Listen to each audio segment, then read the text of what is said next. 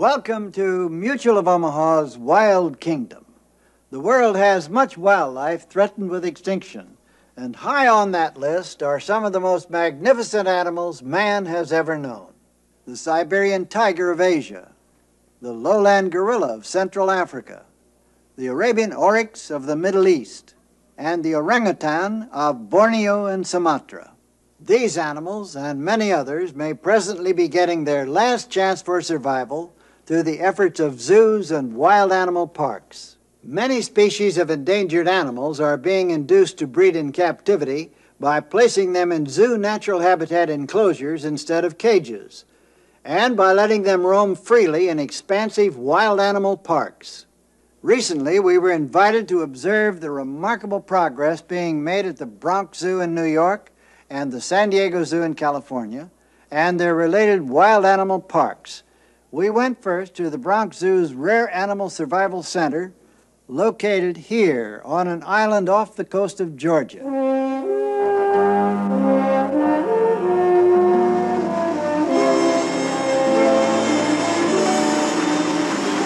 We're approaching St. Catherine's Island, which you can see in the distance. It is 12 miles long and 3 miles wide and can be reached only by boat. John Wood, superintendent of the island, tells me that at the time of the Declaration of Independence, the island was used to produce cotton and indigo. It has since grown back to a more natural forested state and is now the location of the Rare Animal Survival Center established by the New York Zoological Society.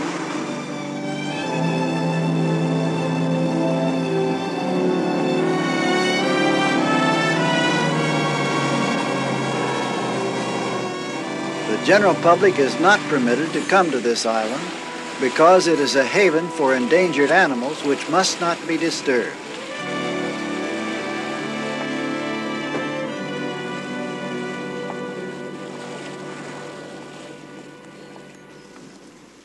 Hi, John. Hi, Marlin.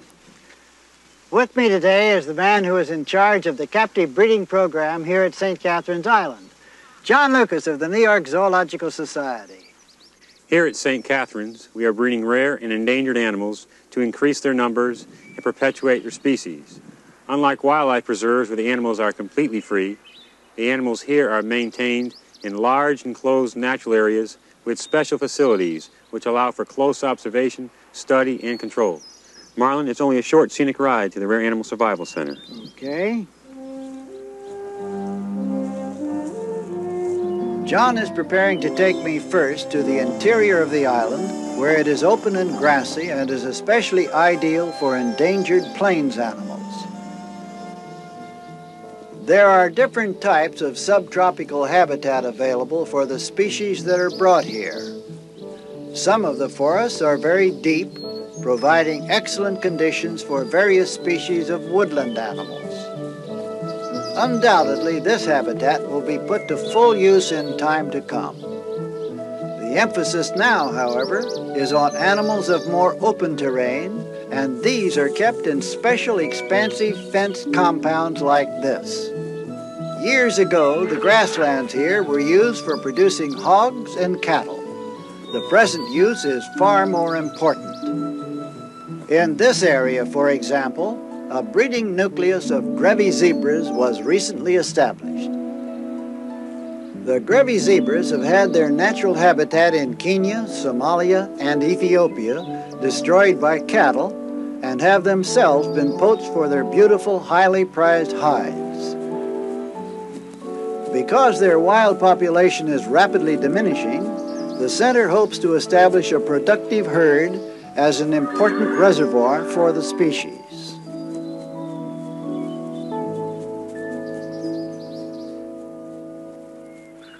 In an adjacent 20 acre enclosure, three species of hoofed animals from North Africa are kept together successfully. These are the addax, the little slender horned gazelle, and the larger Dama gazelle. Overhunted by nomads and their habitat destroyed, less than 2,000 addaxes remain in the wild. These species have adapted well to St. Catherine's Island, and there is hope they will survive.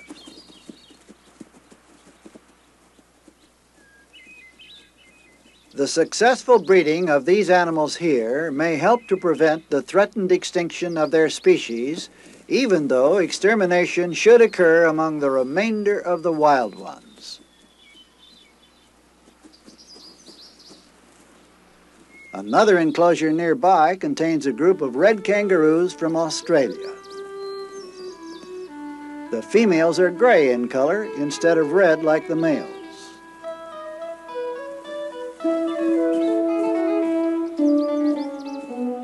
Since their arrival here in December 1976, the three females have given birth to five joeys, three of which are still in the pouches.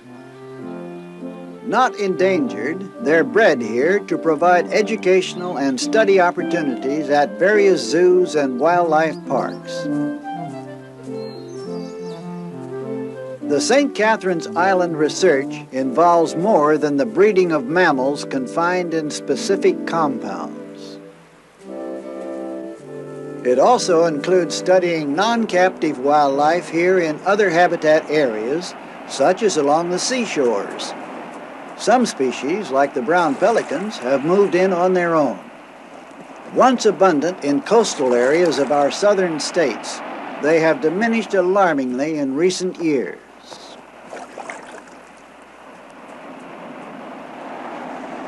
St. Catherine's Island is unique. It is being preserved in its native pristine condition for research and conservation of wildlife. It is not open to the public, but it is a promise to mankind and nature, a promise to preserve, if humanly possible, the existence of species threatened with extinction.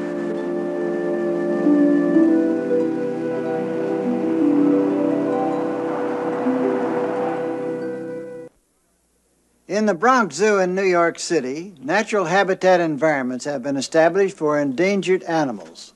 The best way to see these animals is by riding on a special monorail train through the natural habitat exhibits.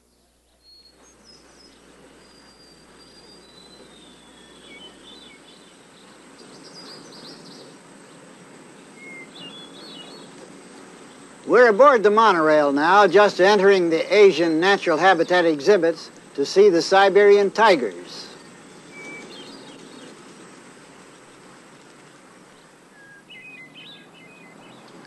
Escorting me here is the director of the Bronx Zoo, Mr. William Conway. The endangered animals we keep here, such as these Siberian tigers, are kept not only as a safeguard against their extinction, but for scientific study with the aim being to learn more about them, and thus we will be better able to preserve those which remain in the wild. The largest of the cats is the Siberian tiger of Siberia, China, and Korea, which may weigh more than 600 pounds and attain a length of 11 feet from nose to tip of tail. According to the latest official count, there are 643 Siberian tigers in the zoos of the world, more than three times the 200 estimated to remain in the wild all tiger subspecies are either threatened, endangered, or extinct. This is Maria, or Mama, as she is more affectionately called by her keepers. She has raised 17 cubs over a period of 11 years. Her latest, two males, were born January 20th, 1977.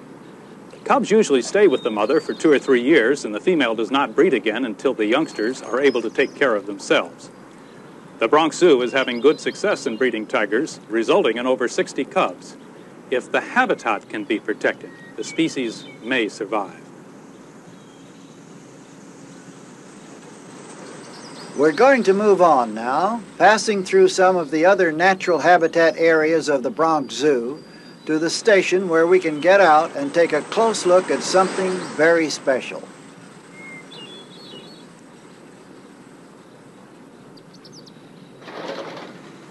Marlin, I'll just be a moment. Okay. Now we're going to walk over and see one of the rarest members of the cat family and learn what is being done to preserve it here in the Bronx Zoo. Boy. Marlin, the Bronx Zoo is one of the few zoological institutions anywhere in the world to breed this highly endangered cat, the snow leopard from the high Himalayas. According to published reports, there were only 72 snow leopards in 18 zoos in the United States. This cub is one of two born here at the zoo on June 5. We're especially proud because it marks the third generation of snow leopards born in captivity at the Bronx Zoo. And we think that that'll help us continue in a long-term program of propagation for this endangered species. You're doing a great job with these magnificent animals. See you later, Bill.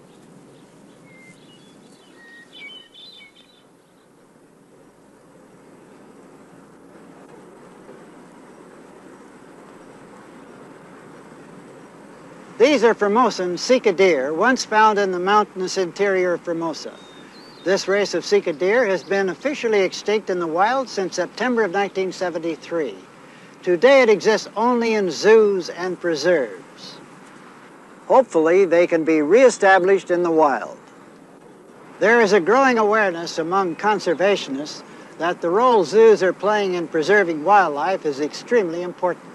The Bronx Zoo, with its related wild animal rearing program at St. Catherine's Island, is only one of a growing number of zoos where such projects are occurring. Another is taking place all the way across this continent into California at the San Diego Zoo.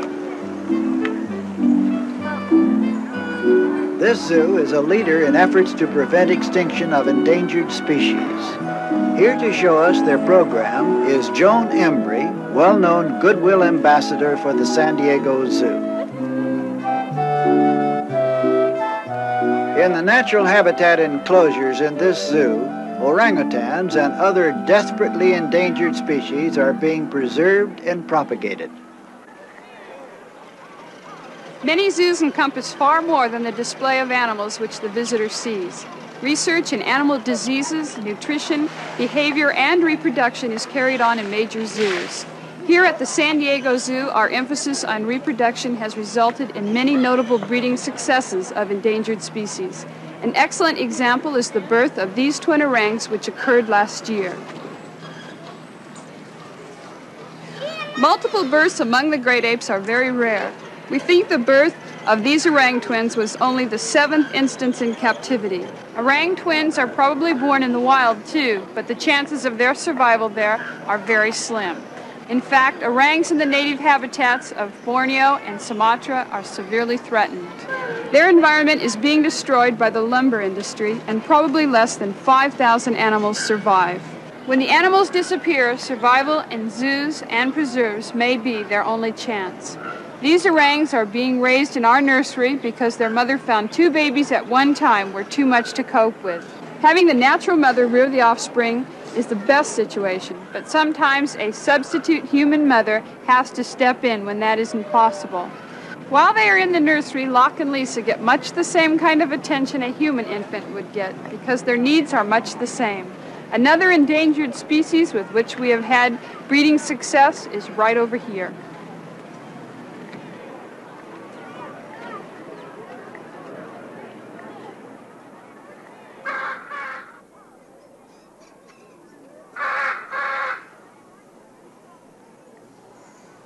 This little fellow I'm holding is called a lemur. Lemurs are prosimians, a primitive kind of primate. Primates include monkeys and apes. Lemurs come from the islands of Madagascar, and all species of lemurs are endangered for the same reason that so much wildlife is threatened. Their habitat is in danger of being destroyed. Some years ago, the Madagascar government cooperated with the San Diego Zoo to set up captive breeding groups of these endangered animals in the event that they were eliminated from their wild habitat. Here at the San Diego Zoo, we have been working with lemurs to determine in detail what their reproductive cycle is, and we feel fairly safe in saying that the continuing captive reproduction of some species seems promising. And the long term outlook is good even if their wild habitat should someday be destroyed.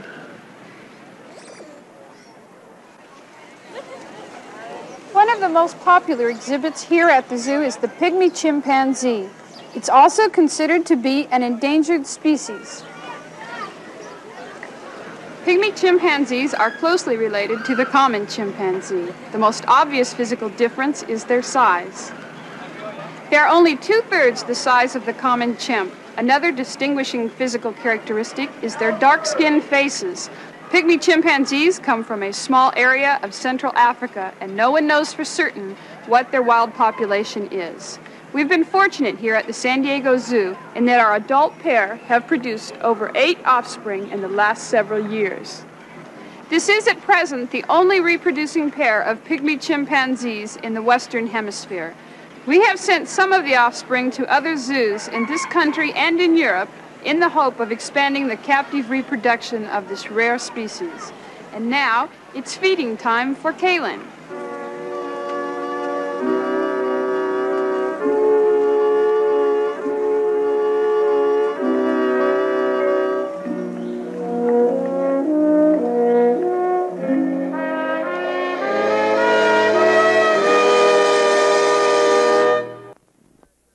The Zoological Society of San Diego also has a program of breeding endangered animals in more expansive conditions here, just 30 miles northeast of the city of San Diego, at the San Diego Wild Animal Park. This arid terrain is similar to the native habitat of many animals in the captive breeding program. Far below Joan Embery is part of the San Diego Wild Animal Park an 1,800 acre preserve. One goal of the park is to breed enough endangered animals so that they may possibly be released where they have become extinct, or to augment wild populations that have diminished alarmingly. An exciting story for Joan Embery is what the program has accomplished in regard to the Arabian oryx.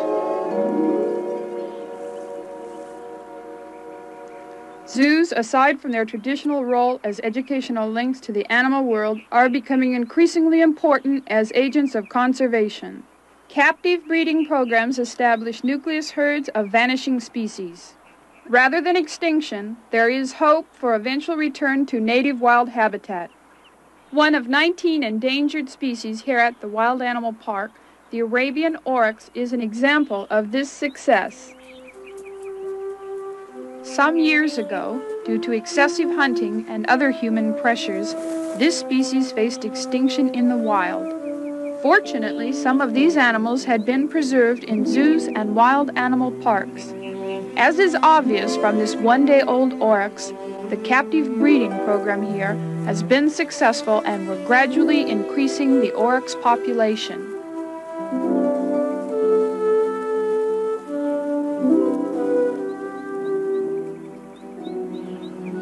Other endangered species living here in similar protected habitats for captive breeding include the Indian rhino.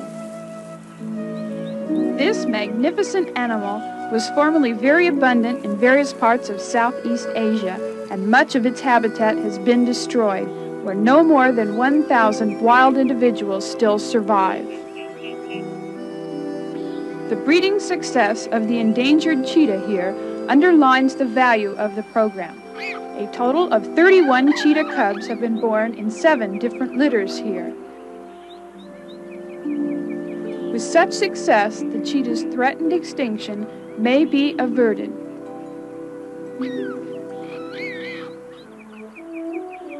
This moated natural habitat enclosure has proven ideal for an extremely endangered primate, the lowland gorilla of Western Africa.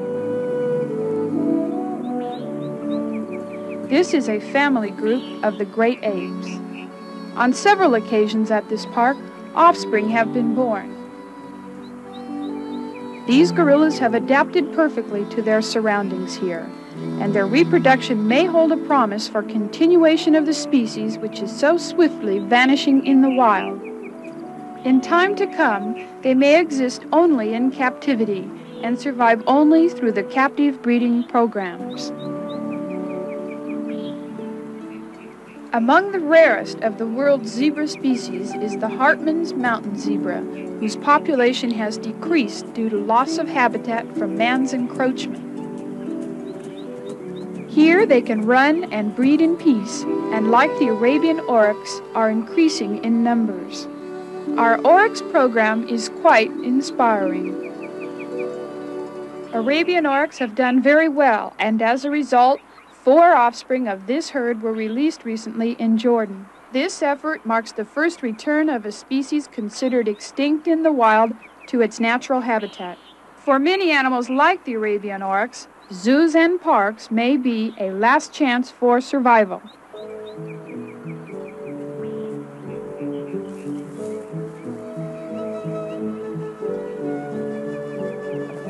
Now, for a final stop, we'll take a brief ride through some of the natural habitat terrain being maintained here at the expansive San Diego Wild Animal Park to look at another of the endangered animals.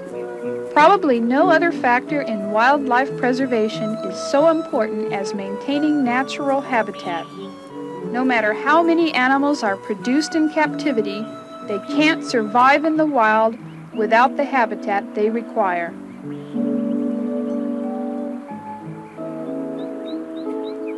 Elephants, the largest of land animals, are especially sensitive to habitat destruction by humans because elephants normally migrate over large ranges, sometimes more than 1,000 square miles. Extensive areas of this territory are being claimed for human habitation and agriculture. And now, many of the elephant populations are limited to protected preserves. In the future, zoos and parks will play an increasing role in the survival of the elephant.